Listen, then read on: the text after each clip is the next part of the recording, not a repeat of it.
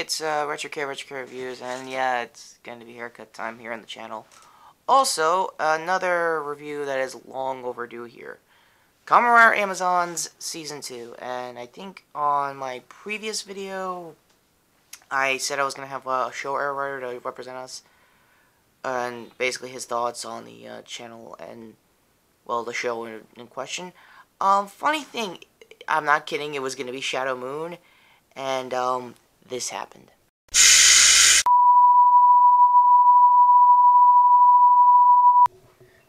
I, I got the, I got the shot. Ah, my armor really sucks. Yeah, no duh, I got this. No, he is gonna be in the review with me.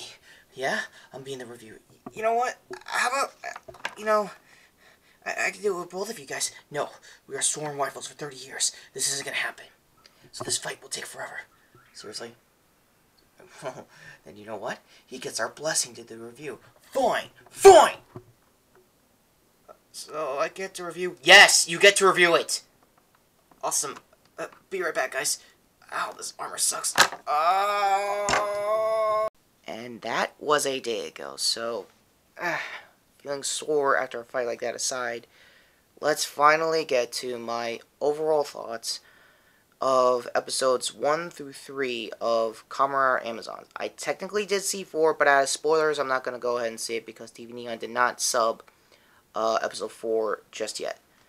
Um, let's get to uh, what I thought about Season 1. Um, a lot of cards probably through my thoughts throughout Season 1. It was definitely the Toku show of last year for me. I really liked it. It was a very interesting series. I'm ashamed that I never really got around to get the writer belt, but it was over 150 bucks last time I checked, and on Amazon prices versus, I guess whatever season two's going to be after the show, it'll just take the rest of my life trying to get. It's basically like uh, KMS drivers or complete selections for those who don't know. Um, at this point. So, um, where to start with season two? Um, well, the story is taking place five years after the first season, so you technically have a new cast that you could get behind if you didn't see season one, which is really good. Um, the Amazon that they have for season two isn't Omega or Alpha yet. Uh, even watching season four, uh, Jin was nowhere to be seen yet. Um, Haruka did show up by episode two, but he looked more intent with a better uh, goal or focus. Um, again, I, guess if there's too many links, uh, link in the description for uh, J-Japan, uh, sorry, J-Toku's um, uh, channel, because he's actually been up to speed with his vlog series about the entire series so far. Uh, oh, it's Japanime. Eh, I'm getting these Toku names mixed up. Anyway, um, speaking of my mix-up, J-Toku was another uh, Kiss Asian-y kind of site that I found uh, first, before uh, Kiss Asian got it uh, with the TV-Nihon subs, if you want to pick either one, it's your call. However, as I've come to realize with both of these sites, they love ads. So technically, you are supporting piracy, and you can't disable the ad blocker. You gotta need a better one than anything. So that that's minor gripes aside, technically. On the whole, um, the TV-Nihon subs I did see uh, was well well represented. I think if Overtime's on track, there are maybe one or two episodes up ahead because Overtime likes to fast forward some stuff. Um, so that's about it. Um, so the Amazon that was basically the new guy until both our articular Amazon showed up was um, ah, crap. I don't know the kid's name off the top of my head. Sorry in advance to the new Amazon. Uh, link in the description for his character name. However, his Amazon uh, name was Kamen Nero. Uh, I don't know if it's Neo, Nero. I'm gonna say Nero. Brother Nero. Uh, yeah. Um, I guess mini, I guess double review. I have been up to date with everything. Uh, Ex-Aid and the insanity of Dan Kotaro, aka Dangerous Zombie, uh, level, I guess, X by the time he passed away. Yeah, spoilers, I know what was going on there in that entire story arc, and it was hands down hilarious to awesome. Best kind of Toku. So if you're into Ex-Aid, definitely stick to the Dan uh, story arc. It's well worth the time. And if you're a wrestling fan, he's definitely Brother Nero. he is definitely uh, Broken Matt Hardy. He's everything you want to be there. Um, so minor uh, mini spoilers, I guess, on that side. Um, Nero's team is basically like an old childhood friends of his that become a social media guys, and this is all throughout episode one. Because there are some interesting things that happen in episode two and three. um. Anyway, um. So their job is basically to use social media like this to just you know uh, film and shoot uh, hunts that they do for Amazons. Because at this point in the series, it's kind of commonplace that a lot of small pocket-sized strike teams will just you know bloom all over the place, which makes a lot of sense in the end. Um, Nero was always disinterested. He was just in it to kill Amazons. He was not in it to like make friends or anything. He was just like shrugging, kind of mindless and stuff like that. Until he met Iyu. Um, at the end of the episode, I think a rival strike team that he probably grew up with because he was a born Amazon. As episode will keep on uh, expositing, with the expositions, uh, explaining that he was born from it, and the opening sequence of probably a kid version of him uh, being found by a strike team in Alpha, looking in the distance, going, probably in character, but maybe is like, oh, you thought season one was dark as hell. Hold my beer. I'm gonna make it darker. Yeah, that's probably gonna be my uh, Toku meme if I can find that pic for uh, Toku memes live for uh, RVT live streams. Yeah, I'm still in the RVT live streams. If you want to come around, say the eight or nine o'clock hour. That's probably where my dream will my contributions to the meme show up. So, shameless link to the live stream side. Um, it was a lot of dark filters. It was a kind of horror movie ish, not the first to the next kind of mentality. It's its own thing clearly. Um, and uh, episode one basically ends with him finding about Iyu also being an Amazon and technically a female writer, but so was Momochi Momochian from uh, season one, except he was just a full blown kaijin that just got that just works for the company. So it's kind of the same lines there, except a lot more. Episode two basically explains she died uh, when Omega found her uh, a few years ago with her family. Her dad turned into an Amazon, killed everyone, and ate her eye. So yeah, how was your birthday? uh, crappy jokes aside, it was actually a really interesting scene. Um, it was it was a slow build too. Like they built up um, Iyu's birthday with his fa- with her father and everything. Um, I don't know the full spoilers why um, he may have turned on his family or maybe he was an Amazon beforehand. Uh, later episodes are trying to explain that. Uh, again, I don't even have the right amount of spoilers to explain the context. Best guess, uh, I guess, as a writer theory, writer theory.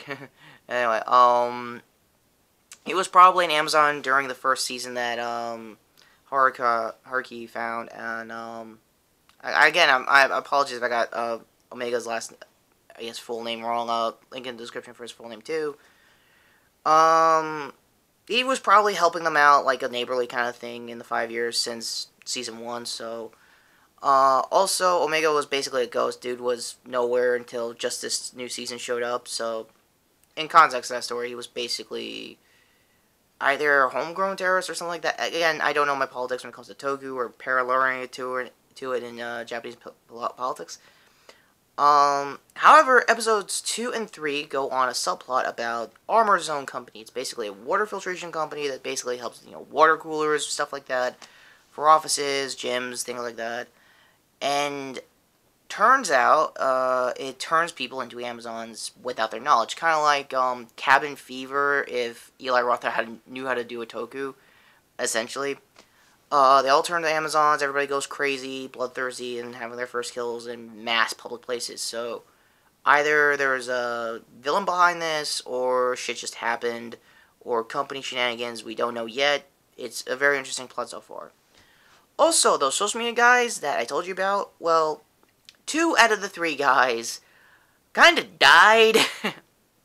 and, um, what I didn't know last time, uh, coming into episode two, was that one of the members of the strike team, I think their leader, uh, was finance, fi fi doing finances and basically being personal security for the social media team so that they could, you know, keep their business afloat, on Amazon to get the right amount of intel. And he comes in, he's about to give them their stuff, and then sees them, you know, turning into Amazon. He's like, alright, fuck it. Sorry for the gun noises, but yeah, he busts out a rifle, just blows them all to hell. cleans the place up in episode three. What's left of the social media team, I think their leader, um, he was puking his guts out just seeing all this for the first time. And when I was riffing it, honestly, um, uh, I look at him, I look at the strike team leader from the first season and go, "Oh, you're trying, you're trying to brood, fucking pussy. I've been doing it for five years." Uh, things like that. Also, in my, uh, I guess riffing it when I'm watching the series, Iyu, um, though has a very complex character, is basically em- Emily from the Pizza Party podcast. Like, oh my god, can you just shut the fuck up, Art? No, shut the fuck up. I just wanna, I just wanna brood. Just wanna brood. It's, it, it's like that every time I see her. It's like, I know she has like the dull face, and I'm supposed to be like, you know, sorry for her, and probably I will as the as the series will progress. And she probably will get her personality because episode three, I want to say, or four. Um, I might spoil if it's four. Um, teased um Nero and an Iyu going to like the car- carnival, trying to get like some semblance of like hope and just basically have a day off from you know being poked and prodded from a multi financial corpor- corporation. So yeah, things like that. Um, three basically cleaned up uh, rematches with anybody uh, Amazons wise that uh, they didn't kill last episode, and uh, also had a cliffhanger of Iyu and um. Yeah, I, I spoiled a little bit of episode four. My bad. Anyway, of Iyu and uh, Nero having a fight, and both every time they fight, shit just either cool or weird. Because the last time they fought in episode two, Omega showed up and then Mizuki, his love interest in, in season uh, season one, and apparently she went dirt poor in the last five years. Her her mother's company went under. Everyone just labeled her a mad scientist, and she's like, "All right, screw it. Um, give me a high caliber gun and uh, five years of training, and I'm gonna kill the shit out of Haruka for you." And she's about to do it. Um, but another member from the strike team is in um the new corporation and just told him not to do it. Just like it's not the it's not the right time. Uh, I think that was the sniper guy, if I'm not mistaken. That was a cool dude. I think he downgraded from bolt action to semi-auto. Uh, I'm more of a gun guy and a Toku guy, if you can believe that. But I'm keeping the basics for now, in case anyone thinks I real steel. Spoilers, I don't. Just nerf. Just nerf. And I'm probably going to prove that in the pro creds, just in case. Uh, anyway. Um, for the fight scenes, uh, it's a bit of a slow build for the first three episodes, but when they get to, I hope, um, the Toku equivalent of the hallway fights, like in season one, uh, like Daredevil style kind of hall- hallway fights, um, either with uh, Nero or Omega or Nero and Iyu with like a big field of like disposable grunt Amazons, that would be pretty cool. Uh, and I need this, uh, I guess, I guess as wish list goes for the series, uh, fight scenes for the strike team to really like work together, get their egos aside because there are a lot of guys who have classic anime egos like the I don't give a shit with the rifle. He's just coming in, just hip firing with a suppressor and just doesn't even care. Uh, probably me if I was an anime character. Who knows? Um, and a lot of stereotypes like. One is too serious, one's too tactical, one's too smart. I want to say. I don't know. Um, so that's basically the new corporation. They're just the next generation of guys that just want to get shit done, get paid, get the fuck out, just like the last year's uh, strike team. So episode three, uh, I'm a little all over the place with the first two episodes. I think that was also like that first time around I was reviewing this and mis- labeling the two writer names. Now I got like three I gotta worry about. oh boy. anyway, um, aside from more things change, to stay the same. Uh, Strike Team comes back at the tail end episode 3 to basically confirm, yes, we're coming back into the game, we're gonna kick some ass, we're gonna come out of retirement. Also, uh, my favorite one was the comical shotgun guy, because I already, I knew him by their weapon types, my bad in advance to all these characters and actors, my bad in advance, I'm sorry. My English, Japanese isn't that good.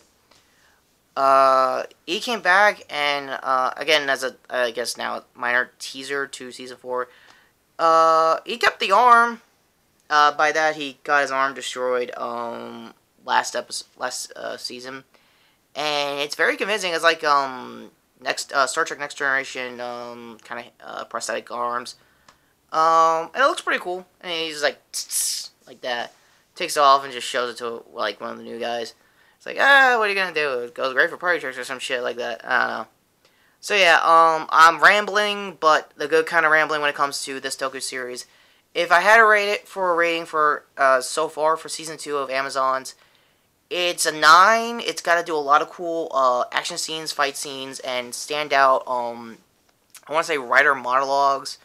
Um, for everyone to keep fighting to either work together or just have days off, like episode four teased. So who knows?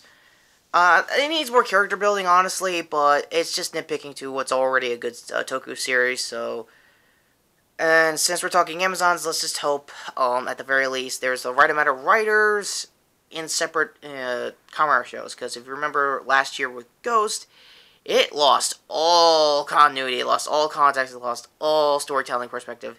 Because all those writers went to Amazons and became pretty much my favorite Kamen series of last year. So probably an even balance uh, on certain episodes. If I have to put through, put up with a filler in either one, that'd be fine, honestly. Or oh, let's just do a Sentai episode for Ex-Aid and just one, just one toy. Okay. Uh, I think my beard's growing again, and I definitely need another haircut. Aside, this is Retro K Retro K Reviews saying, Amazons! Season 2 is really good, and, um, if this is the end card, or on the post credit there's an end card, uh, link to my channel, uh, link to the script, link to my previous video, mm, link to my previous video, link to my uh, channel, and I gotta get used to this pointing thing, I, I really do. And dog. Yeah. Take care, guys. Subscribe and uh, like me. Uh, like this video if you want to see more Amazon's reviews. Uh, follow me on Tumblr so we can keep the conversation going, obviously. And until next time, whew, I gotta get Amazon's belt. Seriously. Later. So that's it. No, no final word. No, no cutting back to us. Yeah, yeah, no cutting back to to any of you guys. Oh my. Oh, is that a Rider shooter? No, it's not. ROX's gun. It's it's a new gun. It's an Alpha Hawk. I mean Falcon Fire. Oh, damn it! I got it wrong again, did I? Yeah, you did. You better get that straight for the review. Yeah, you're right. Yeah, next review either will be Guardians of Elog or uh, a new Nerf review. So, and yeah, if um Dick's here or any of the Titans, I will get you Fusion's contract. If you want me to do it first before the Nerf stuff, yes, I will. Any last words? How did that pierce my armor. Dude, you're Shadow Moon. Your armor's not that awesome anymore. Any Heisei Rider could take your ass down. I kid, but I'm not. Fourze can kick your ass down. Den-O, Kiva, the Destroyer of Worlds, and a new father, Decade, has kicked your ass more than once. Oh, piss off. Is he trying British again? Yeah, it turns out. Alright. I am the Century King, Kamen Black, and I will Kingstone Rider Kick him later. If so, uh, if you like this channel, please go see his previous video on, uh, what was it, uh, Channel React. His Channel React with Death Battles, Megazord versus Voltron, and apparently he didn't like the winner. Voltron sucked! Yeah, we've been hearing that all week. And uh, links to the channel if you want to subscribe. And follow him on his social medias, like Tumblr, for example. Are we ready to fight again, brother? Yes! Yes, we shall fight again. Later! I mean, Really? That, that that's it? I mean, I was supposed to be one of those guys too. Like, you guys. Anybody want my my opinions on uh, Amazons? No, we're too busy fighting each other. All right. See you next week, guys. I think uh, Retro's gonna either do a vlog review of Guardians or I don't know, Teen Titans Go. Who really knows at this point?